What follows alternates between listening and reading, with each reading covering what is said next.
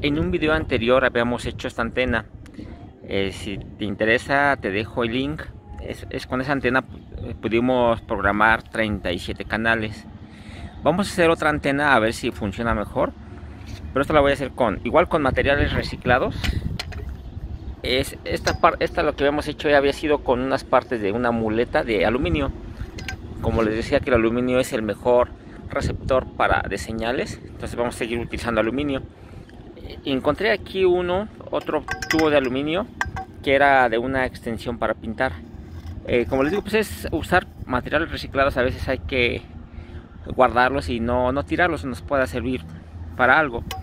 Entonces encontré también esta antena ya muy viejita, que era una antena de para HD, pero ya están rotas las, las antenas.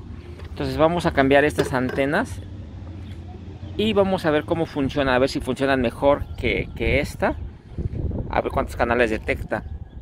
Entonces, los materiales que vamos a ocupar, pues también van a ser dos, van a ser dos, dos codos, una T, una T, ahorita aquí está, una T, dos codos, eh, un cortador para tubo, un tramo de tubo de PVC 20, unos 20 centímetros, lo vamos a cortar a la mitad y este tubo lo vamos a cortar a 40 centímetros. Lo voy a cortar y nada más tengo bueno no hay quien me ayude a grabar por eso es que no, no lo voy a hacer este eh, cortarlo en video. Eh, en fin la finalidad es, es cómo hacer la antena no tanto cómo cortar los tubos ni cómo armarla sino a ver cómo funciona. Entonces lo corto y ahorita vemos cómo lo armamos. Ah también vamos a necesitar un tramo de como a un metro de alambre. Este es como del número 20 y pues un metro. Y bueno corto los tubos y continúo con el video.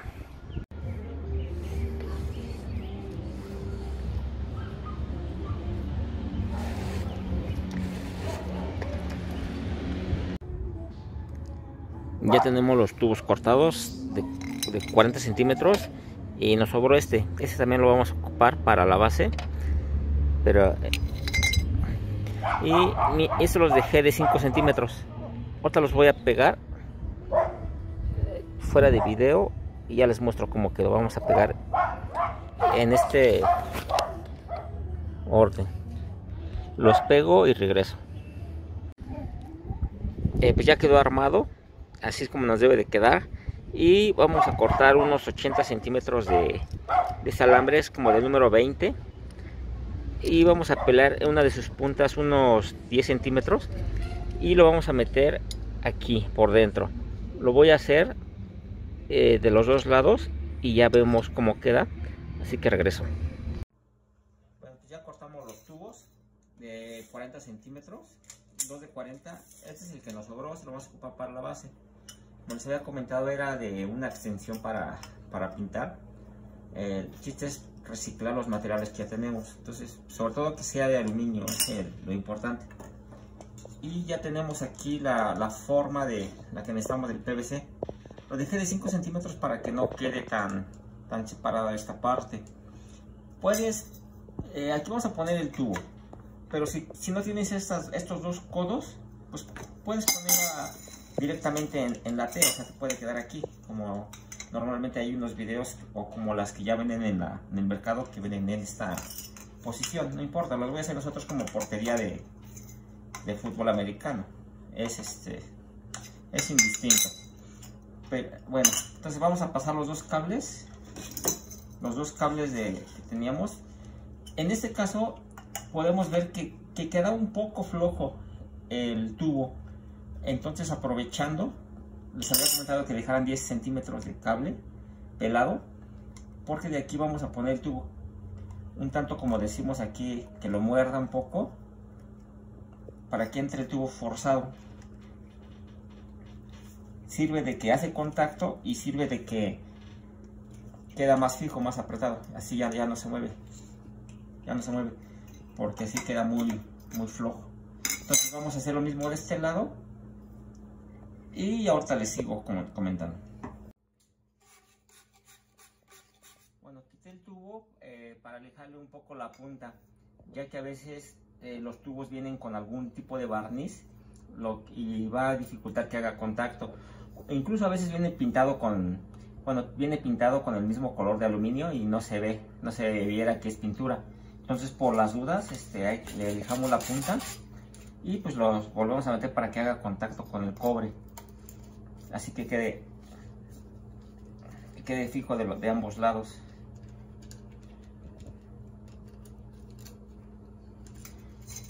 entonces ya ese ya también está lijado.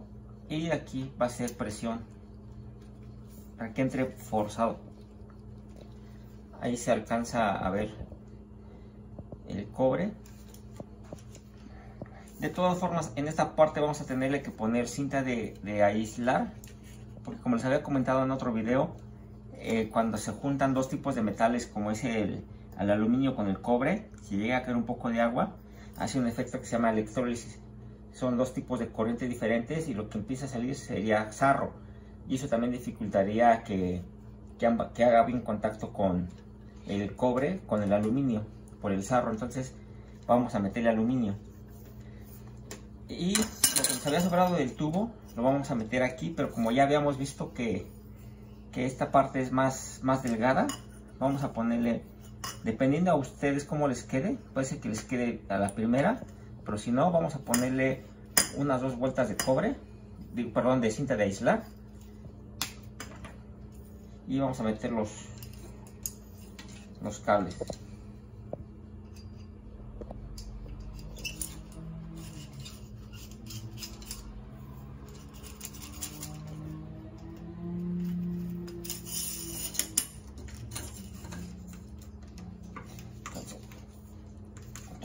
metemos que quede forzada. Y ya quedó. Ustedes pueden pegar esto con, pegamento para PVC estas dos partes. Aquí no, aquí no lo pueden pegar porque el mismo pegamento haya como un aislamiento entre el aluminio y el cobre. Entonces aquí no, no vayan a poner pegamento para PVC de todas formas no pegaría el PVC con el aluminio con PVC, entonces no, tendría caso. Solamente en estas partes sí, sí Entonces aquí ya nos salió esta parte. Aquí nos queda para poner unas abrazaderas y fijarlas a, ya sea a un muro o alguna otra superficie. Como les comentaba, no las pongan o no las fijen en, en alguna varilla que tengan porque es más propenso que ahí caigan los rayos de los rayos y pueda afectar a su televisión. Estas dos puntas las voy a conectar, voy a quitar estas dos, estas dos antenas. Voy a quitar esas dos y voy a conectar, es indistinto de qué lado vaya. Y, conectar a la, y de allá la voy a conectar a la corriente y voy a escanear otra vez la tele a ver si detecta más de los 37 canales que detectó la primera vez con una antena similar a esta. Ahí te dejo el link para que veas cómo se hizo la otra antena y vamos a conectar esto y ya al final vemos los resultados a ver si funcionó si funcionó pues puede ser que te pueda servir para hacer algo similar. Pues ya pusimos la cinta de aislar en, las puntas de las antenas donde se unía con el cobre y pues ya ya tenemos nuestra antena. Vamos a fijarla en la azotea y vamos a escanear y ver cómo quedó.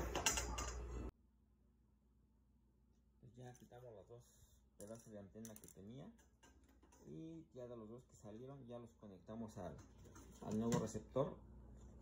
Esperemos que funcione. Lo voy a conectar a, a conectar a la luz y ponerlo en la azotea y ver qué tal qué tal funciona.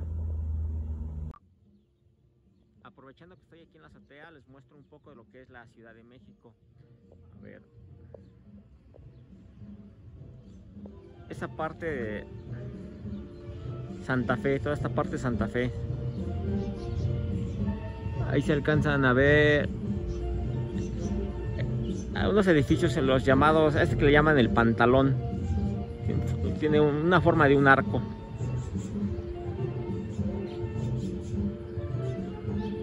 Está la parte de lo que es San Jerónimo.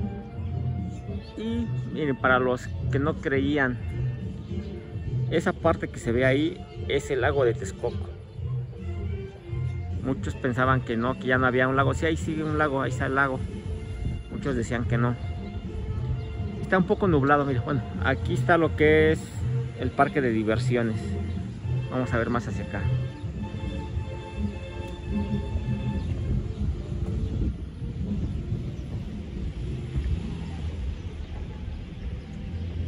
Aquí está este edificio que brilla mucho, es uno que está en Reforma y Periférico. Y por aquí está eh, una torre de un banco que en el 2018 fue considerado el mejor rascacielos del mundo en el 2018, hecho por un arquitecto mexicano. vemos que está nublado, pues acaba de llover.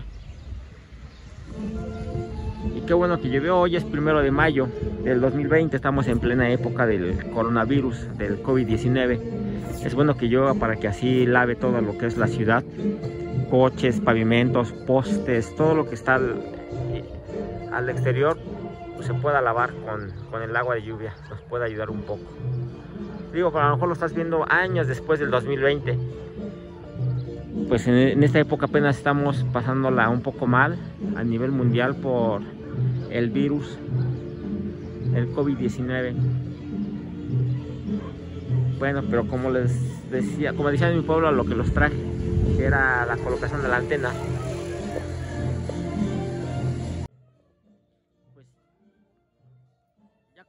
lo que es la antena y lo, la mandé a un divisor, es este, un divisor para tres televisiones. La voy a ocupar para ver tres televisiones que tengo.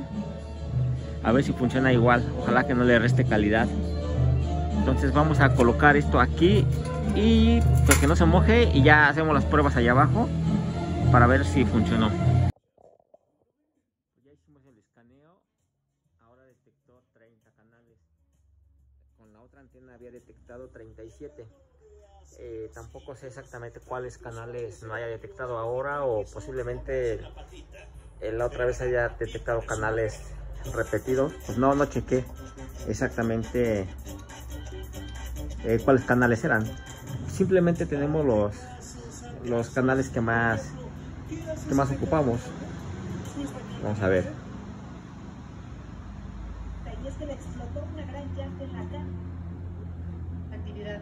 pero con la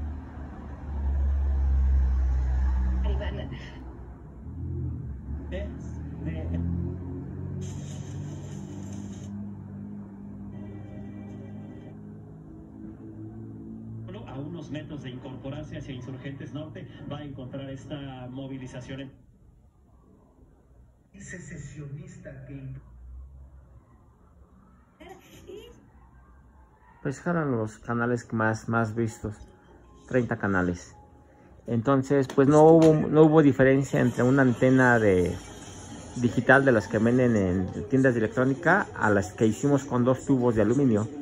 O sea, pues entonces, pues ahorrate o prueba por lo menos con la antena de dos, los tubos de los tubos de aluminio, eh, te puede funcionar mejor y no, no gastas tanto dinero.